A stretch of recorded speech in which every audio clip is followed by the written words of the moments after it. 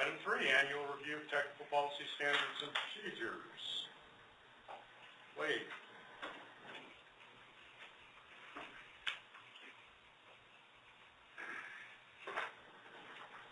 Co-chairs committee, thank you for uh, having us today. Um, We will be reviewing the uh, policies, procedures, uh, and uh, this quarter will be our technical. As we've uh, stabilized, we established a procedure of our standard annual review cycle, and uh, this ensures that each of our documents are kept up to date and allows uh, users input there. Each quarter, we have a set of uh, uh, policy standards and procedures that will be presented, and this quarter is our technical one. If no revisions are needed, then the last uh, reviewed date will updated, and the document will be posted to the website. If revisions are needed, and the appropriate drafts will go through the review cycle again and uh, presented for approval at the next meeting. Uh, Today, we'll be going over uh, Arizona interoperability, excuse me, Arizona Interagency Radio System AIRS, and uh, AIRS Improvement, and Sustainability Plan, the Land Mobile Radio Minimum Equipment Standards, and the Arizona Interoperable Channels Plan. Um, Just a little bit of history. In August, we sent out email to all the state stakeholders, August 7th. August 21st, uh, we were looking for comments back by that date, no comments were received. Then on August 21st through the uh, 30th, we had an internal review of the PSP and had no changes to the core, but had uh, uh, the idea that we wanted to standardize all of this information into a new format that re- would require minor changes. On September 4th, we presented and requested feedback from this group, uh, this committee, and on, today we're here to present and request uh, feedback from, uh, from you and to uh, have you approve these things. Um, November 19th, we will have the PSCC uh, meeting and present to them for possible approval of the Land Mobile Radio Minimum Equipment Standards and the Arizona Interoperable Channels Plan.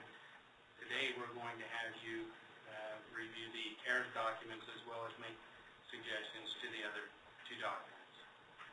So Let's go ahead and get started.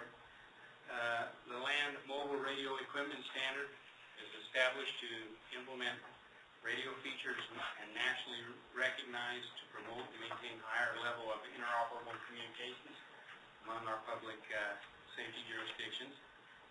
Um, The first change that we had proposed was a change of the minimum channel display requirement from seven to eight characters. The original was uh, seven characters, the proposed being eight.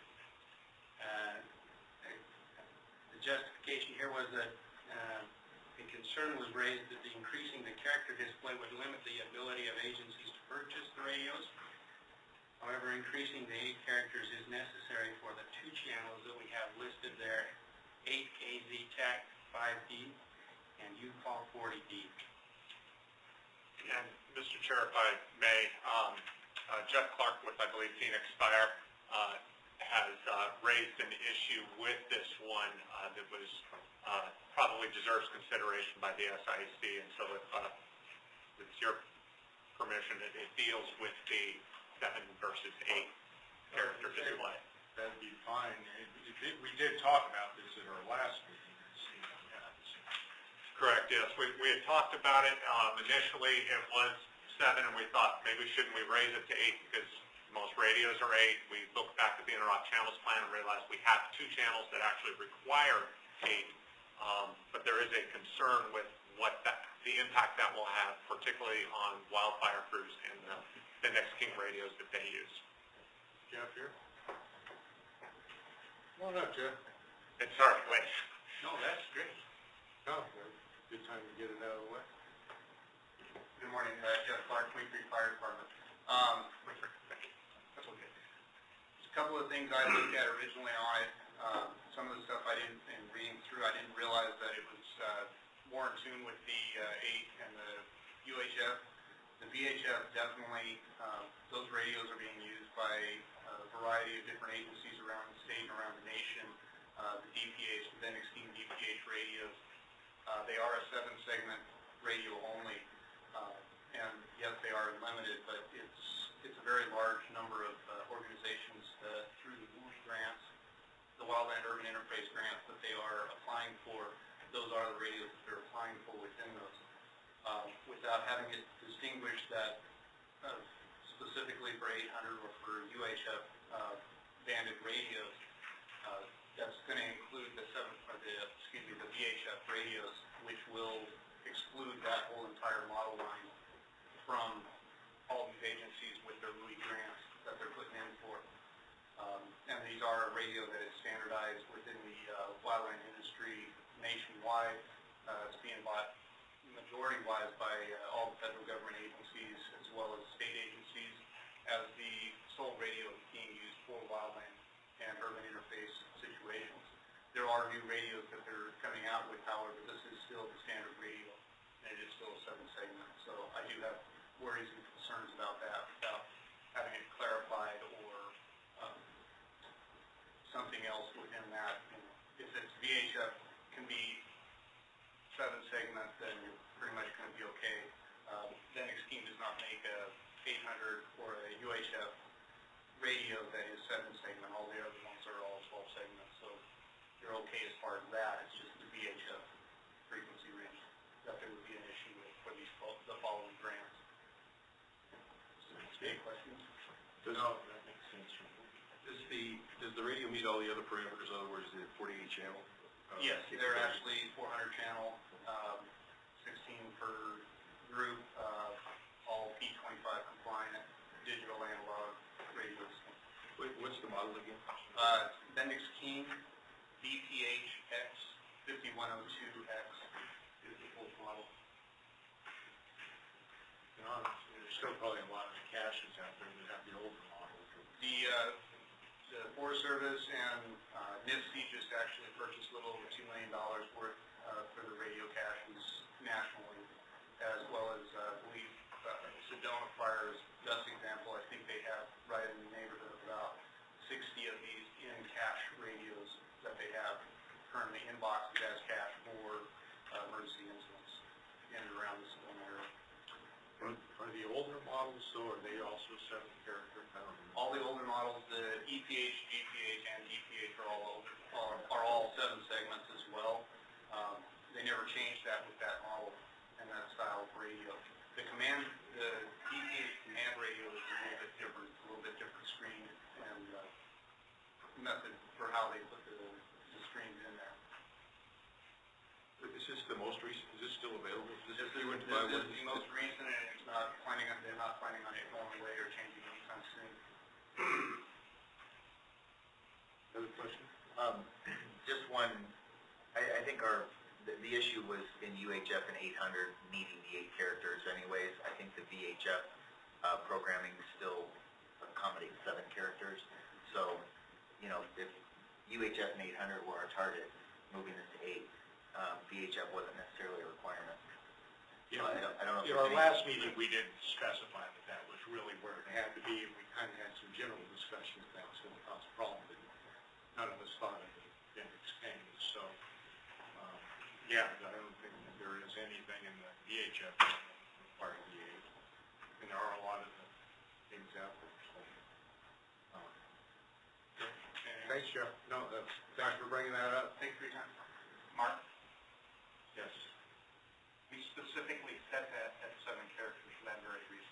Original. Originally. Yeah, you weren't here last meeting, you're retired, see? Like I said, we went out and did a radio survey to find out uh, the the current, then all production models, how the the character count was, instead of seven seconds. Yeah. Uh, One of the options for standards would be, say, minimum seven recommended eight. Or couldn't we just say minimum seven on VHF and eight for the others. No, but Are there other, Isn't, isn't the way we're trying to currently write the standard though as being all-inclusive? Because if we started off with individual standards, PU and eight hundred, right, and now we're trying to make it a single standard for all bands, is the way I I recall the, where. we do have them on separate lines though. I mean, we did bring them all back onto the same page and try to make everything as, Yeah, but for instance, channel count's all the same, yeah, the frequencies. you know, and the only thing we're really saying, and, and in that place, yeah, channel capacity, if we change VHF to read seven, that would be great. Yeah, that'd be the only thing we have changed. Now, just like last meeting, we missed the Bendix Kings, are there any UHF and eight hundred radios that that's gonna cause a problem with changing it to eight? That we know of? Problem is, we don't know, you know, we don't. I'm wondering if, is this a a mandatory requirement, or is this a best practices, like a recommended? uh, Is this what we're looking for in terms of recommendation, people buy equipment? I think if they buy it using grant dollars, Correct. it has to meet the. Security grant funding has to comply with the uh, LMR minimum equipment standards and has to program in the interop channels plan. If an agency is using their own agency funds, um, or, you know, other sources of revenue besides uh, typically federal grant funding, um, then they, they would not necessarily have to. This would be a standard, which would be more in line with the best practice, but from the standpoint of grant funding, uh, they must comply with these standards. So, Scott, what you had said before, uh, seven, recommended eight? Or, uh, uh, uh, since this is displayed this way, and I, I haven't, have not looked at this, reviewed it, if we just change the VHF requirement to seven for greater, that is, Be my that makes the specific exemption for the Bendix Kings, with all the fire services. Keep the others as eights, and we're not gonna cause any problem. Without going out doing another physical survey. Almost everybody out there is, is typically greater than, than eight, yeah. Yeah. Okay, so definitely change that to seven. Okay, Okay. The next proposed change is uh, to add a section on multiband radios to the standard, um, footnote that uh, multiband radios uh, with 700, 800 megahertz frequency need only be 25, uh, P25 capable. Uh, Before there was no standard, and Justin, if you go back to that other document, what we're doing is adding that lower line there as a multi-band standard there with the no fry pole. We recognize that there are agencies that may purchase multi-bands with just VHF and UHF bands, not including the 700 and 800. And so while we want the standard to be P25 required, um, if a radio does not have 7 or 800 in, in the uh, radio, then that would just need to be P25 capable. Again, so if that footnote wasn't there, would it still need to be P twenty-five capable? Well, the current concern, for example, would be if DPS were to buy a UHF, VHF dual band radio, um, their primary operations are on UHF, they interact a lot, particularly in rural areas with agencies on VHF. Uh, th- there's really no need to force any of those agencies to, uh, activating P25 on their system, um, simply because they're having a multi-band radio. If they had two VHF and UHF radios, we wouldn't be forcing it. Our, our, So it's the difference in saying Project twenty-five in the column is required, you're just singling out that it's just P twenty-five capable, not required to operate correct. The standard in the past has been for VHF and UHF radios, those radios have to be upgradable to P25, um, but not necessarily forcing those agencies to purchase the P25 upgrades. Okay, so just like the capable on we talked to. Correct. Sorry. I was just trying to read the footnotes two and three and then see where that tied back in. So, okay.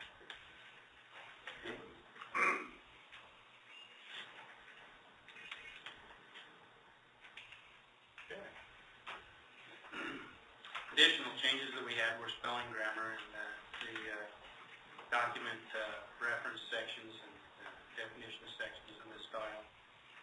Some su- uh, suggestions that were not included was to increase the minimum channels from 48 to 128, um, and expand the VHF frequency range to include the frequencies, uh, the federal frequencies below and above the uh, the 150, um, below the 150 and above the 174.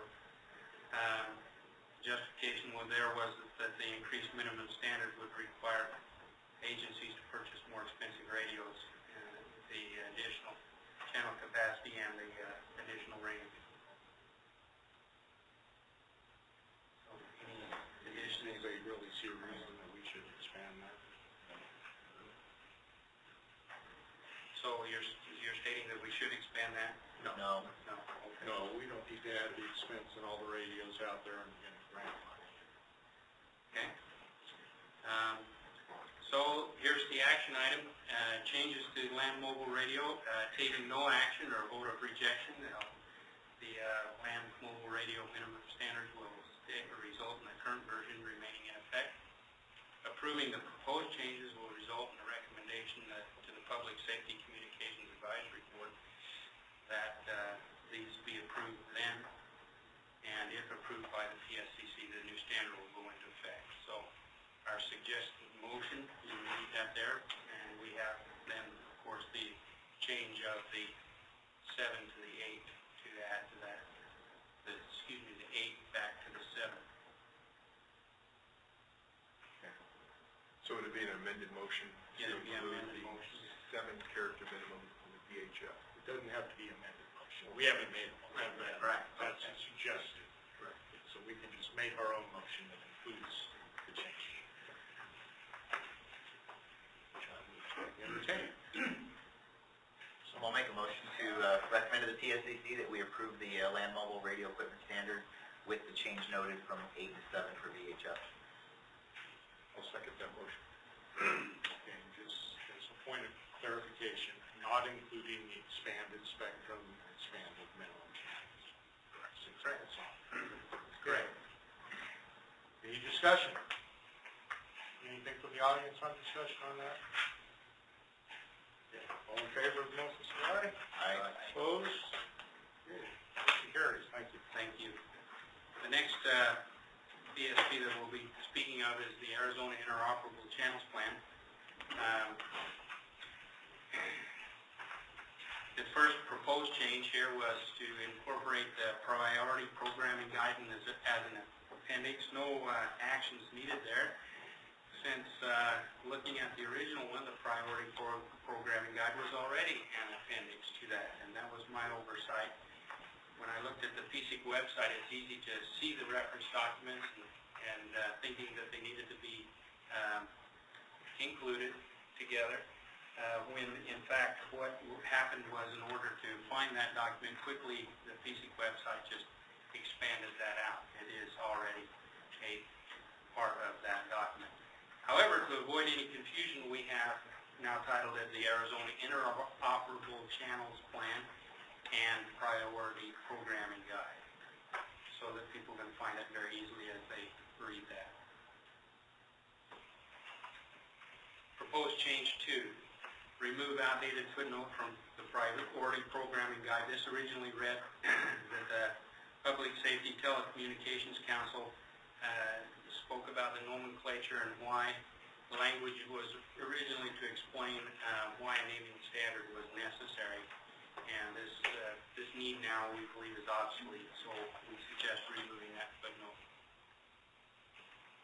Just for historical reference, when this document was created, there was a lot of activity at the national level um, between NPSTC, uh, the creation of the NIFOG, uh, the publishing of the National Emergency Communications Plan. And so there was a whole lot of movement um, in terms of creating a standard, and so we wanted to have that in there initially. Since then, the, the standard has actually been established. The proposal that NPSTC has put forward has been, uh, has become now an ANSI uh, approved standard. Um, And so really, this footnote is just kind of an historical artifact that really doesn't need to be in the document anymore. We had a lot of conversation years ago. Sure. Additionally, the NECP goals one, two, and three are most likely going to, well, will be disappearing, um, and there'll be, I think, up to five or eight new goals that are in a completely different format from those, so that wouldn't make any more sense by the end of this year. Moving on, proposed change three, remove the outdated footnote from the priority programming guide tables. This footnote uh, originally stated, program in mixed mode received where possible. We recommend that we clarify that some uh, by stating footnote was, uh, or excuse me, the suggested wording of uh, radios capable of being programmed in analog, digital, or mixed modes should use mixed mode for receive where possible. Uh, This footnote was inadvertently removed uh, from the approval draft, so you won't find it in there, and we need to restore it to all of the four priority programming guide tables.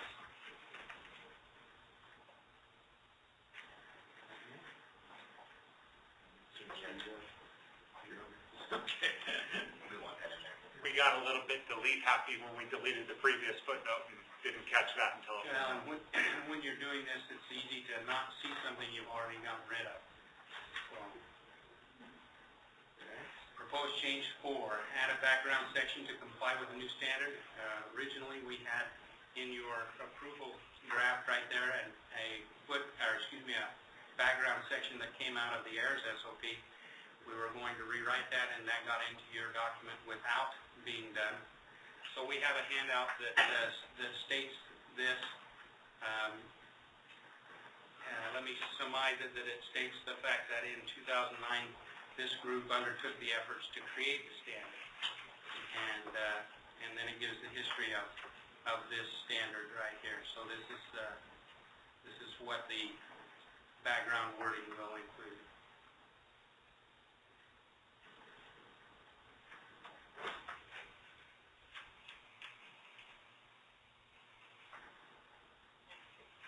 one of the things that we learned is trying to do all four technical PSPs at once was actually another major undertaking that uh, we had not anticipated.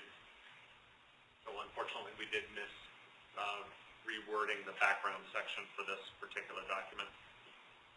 Oh, and Justin's letting me off the hook for my inexperience too, so.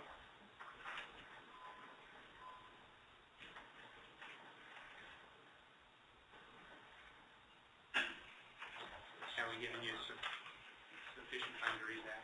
Okay. Proposed change five, add a subsection for restrictions for the use of AZ TAC five and AZ TAC five D.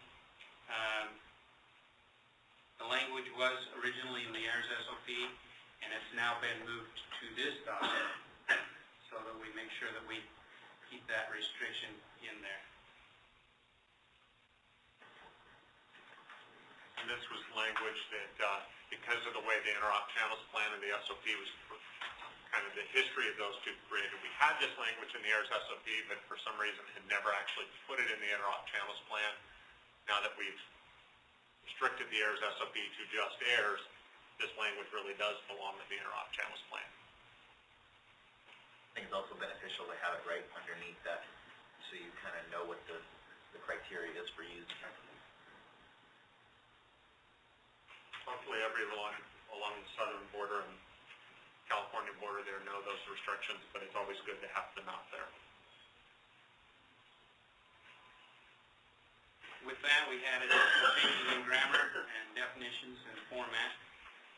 So, uh, we'll let you discuss that for any of your comments. And then the action item will be the same as before, is that if it's approved the PSCC, will then, um, see this on November nineteenth for their meeting. And so, only two changes, change number three and change number four. And the new uh, suggested footnote, the background, and the, uh, uh, that'll be the only changes to the approval draft.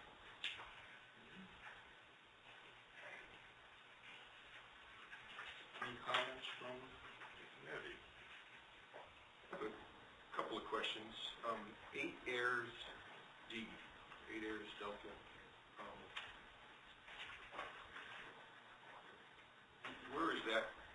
AIRS channel in the AIRS plan, and where is it located in our plan at this time? The direct version, I know we've had, we've had it in the past, I'm just wondering.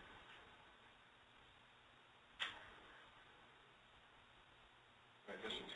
I don't recall it. I don't Eric, it has to be repeated to be able to use the I don't- suite. Yeah, I don't think we were, To use the suite, yes. I don't know that we were ever specifically allowing direct mode on, on the AIRS, because it is, In order to yeah, it, patch it it. would, ca- it would cause a problem with everyone using it. Oh, Scott says we weren't. That's what, It's the same as eight call ninety, D. uh, there. But we didn't include a call ninety direct in this particular plan. Was it replaced, or have we always had eight call ninety? Because I know that was the, that was the concern was, if anybody else is coming into this region, they don't, they don't have eight AIRS, they don't know what that is, but the one fifty-six seven, um, eight call ninety was something that would be standardized for anybody coming into the region, or if we were sending anybody out of the region, they would be looking to find eight call ninety in their plan which is why I think that was the purpose of making sure we included that in this standardized plan.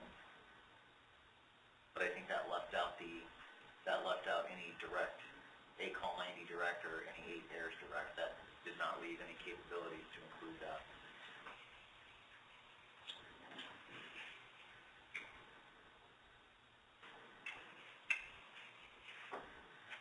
I, I think the other. It's not there.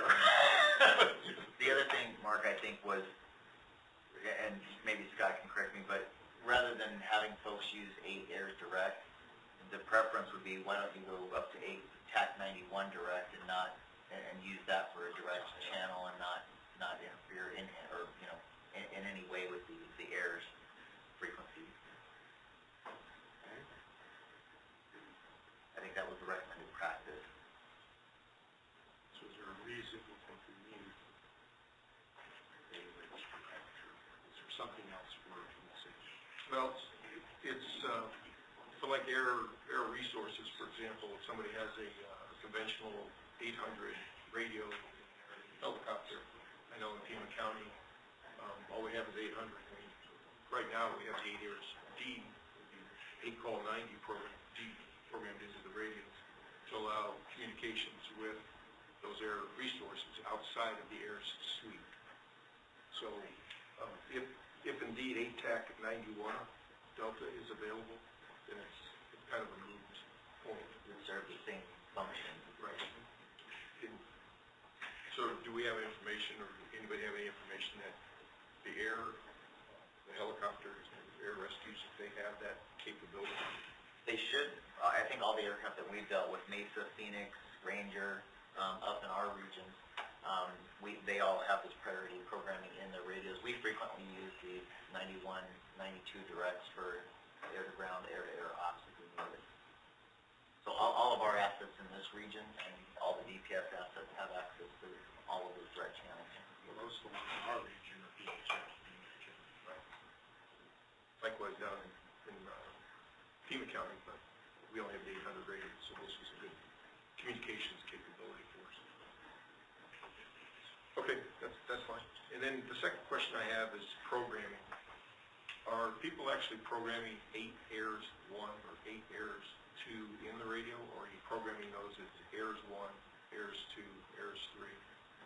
I know in our region we've, we've done that because with multi-band radios coming in, you can have the AIRS 1, you, can have 8 AIRS 1. If you just put AIRS 1 in there, with a multi-band radio, you have different capabilities. So even in our 7800 only radios, we're including the 8 AIRS 1 as the standard programming, and I think most of our partners in the region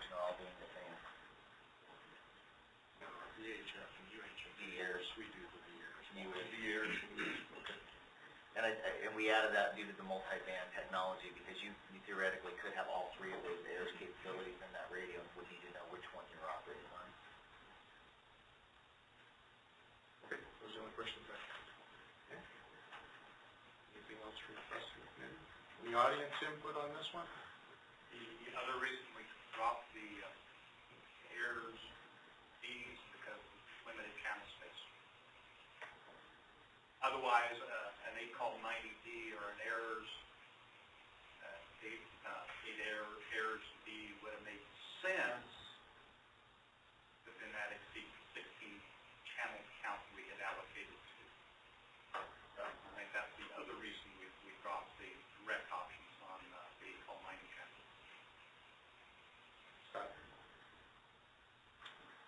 Right, there's no other comments, I would entertain a motion to approve this policy, standard. I'll make a motion to recommend the PSCC approve the Arizona Interoperable Channel Plan and Priority Programming Guide as presented, and the approval draft for the following usage at footnote and the new background. Okay, thanks, Jeremy. You have a second? I'll second. Jesse seconds. Any further discussion? Okay, all in favor, say aye. Aye. Opposed? Abstentions? Motion carries, thank you. On to the next one. Number three of four, the standard uh, operating procedure uh, for the AIRS state plan is uh, state, uh, used as a statewide interoperability system known as the uh, AIRS. Uh, It's in- intended to inform dispatch, and user actions regarding the system. The first proposed change was to remove the NIFOG tables from the AIRS SOPs that are also found in the Arizona Interoperable Channels Plan. And uh, so we propose removing them as they're duplicated. That's the first change.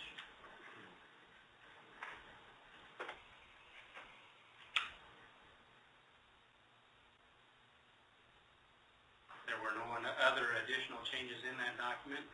Did, uh, other than these, that we updated it to the new style, added, a- added a definition section and updated the assignments and map that were in there.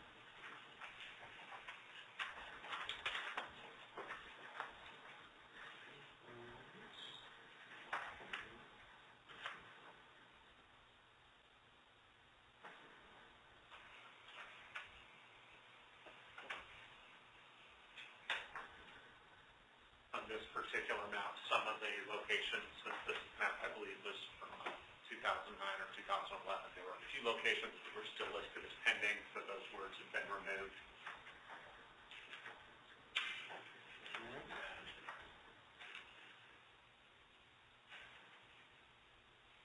The monitoring table here were, was updated with all the latest information from DPS.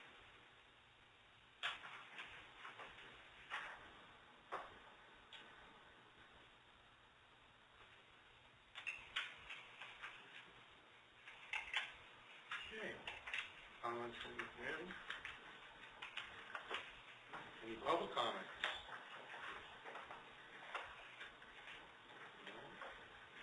Hearing none, I entertain a motion to approve the um, standard operating procedure recommended update for moving the NIFOG channels. Mr. Chair, I'll move that the suggested motion approve the Air State Plan Standard Operating Procedure as presented in the approval, or the approval draft. Okay. Motion? I'll second. Second, please. Thank you. Any further discussion? I do want to uh, add here that these uh, pro- uh, changes will take effect as you are, the committee over this AIRS document. So, Yes, this one doesn't go back. Yes, it's six. All right, we have a motion and a second. Any further discussion? All in favor, say aye. Aye. Opposed? Abstentions? Okay, motion carries. Moving to, to the last one, this is the sustainability, improvement and sustainability plan for the AIRS. Um, It's guidance for initial requests for new sites and uh, documents, and, uh, and documents ongoing maintenance responsibility as new sites are approved. Uh, The first proposed change was to update the DPS contact information. Originally, we had personal contact information, and we've moved that to a generic contact information section. Proposed, excuse me, additional changes, we've uh, done spelling and grammar corrections and uh, put it into the new style. And so any additional comments or things that this committee might have for uh, approving this will uh, result in the new plan going into effect.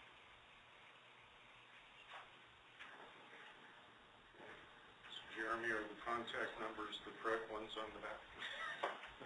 The very back of that page. Yep, sure. And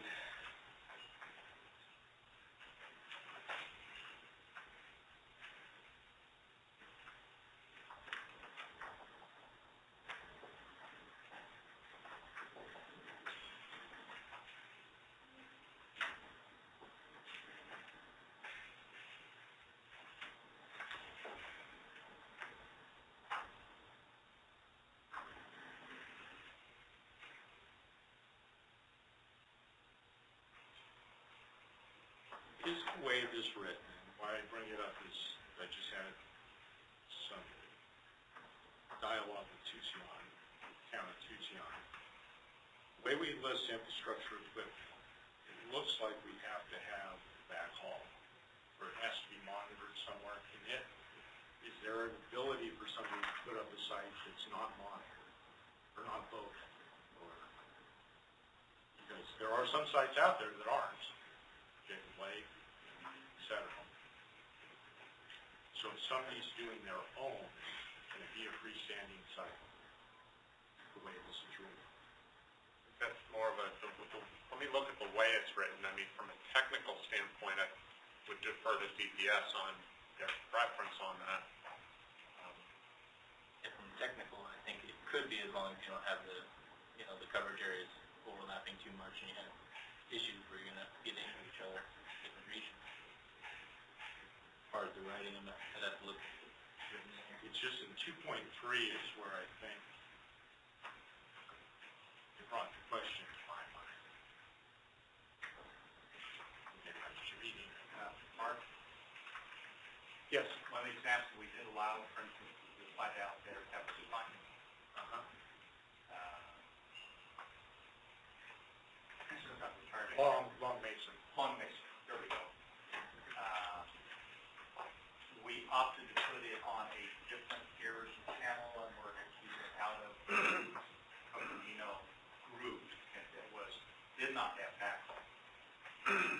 If the tribe ever got to the point where they could provide backhaul, then probably change it and put it into Coconino View, so go with it.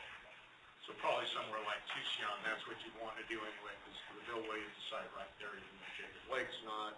Right, you know, it, it, it's like, I think, uh, Justin said, it's the same for DPSW and Divide, it's, there's appropriate, you know, available for it, you can find it from one of the other air regions, how it has interference, you know, and whether or not, yeah, it can be standalone, or it needs to be one that's integrated into the system.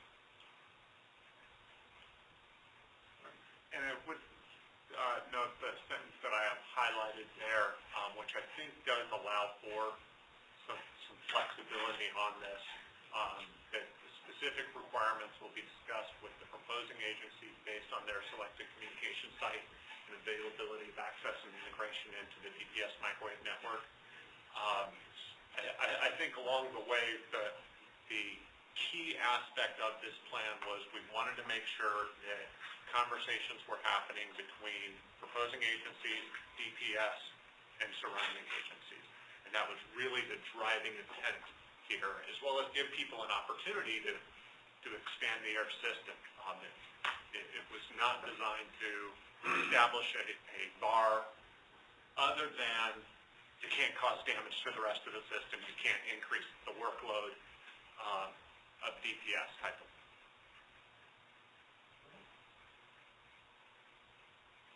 Comments, any other comments from the committee? Would, would this document apply, Scott's example, for example, would this apply when an agency wanted to modify their AIRS suite? That, that is our view right now, that this establishes a process for how local agencies um, can begin those conversations and have those conversations.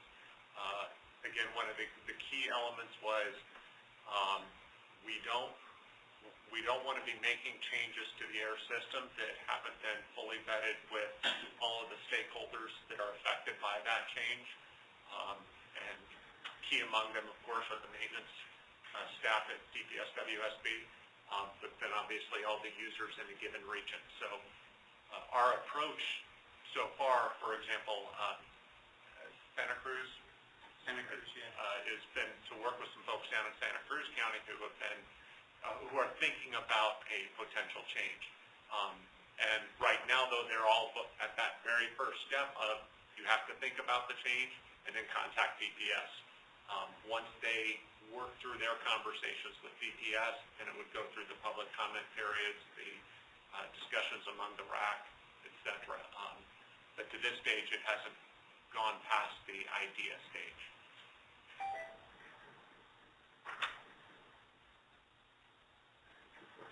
Yes. Okay. Any other comments from the committee? About the audience? Good on that? All right, hearing none, I entertain a motion to approve this standard. Which one is it? Policy is standard, this one is the, The sustainability. this is a sustainability plan. So Technically, we call this PSP. an SOP. It's an SOP, so it's part of the PSPs, the EIEIOs. So, I'll make a ma- motion to uh, approve the AIRS Improvement Sustainability Plan as presented in the draft. motion by Jesse, second by Jeremy. Any further comment? Hearing none, all in favor say aye. Aye. Opposed, abstentions, motion carries. Thank you, Glade. Thank you. The- The next steps, uh, the approved version will be put on the website. Uh, The recommendations from this uh, committee will go on to the PSCC on November 19th. And then October through December is uh, our year-end reports and, uh, and uh, reports to the JLTC. We did want to ask if this committee had any PSP development that they felt at this time needed to be started and we'll open that to your suggestions. Well, it like it, actually is October. Yeah. The new quarter's begun. Okay, thank you, Glade. None, I just want to say thank you and appreciate it. All right, thank you.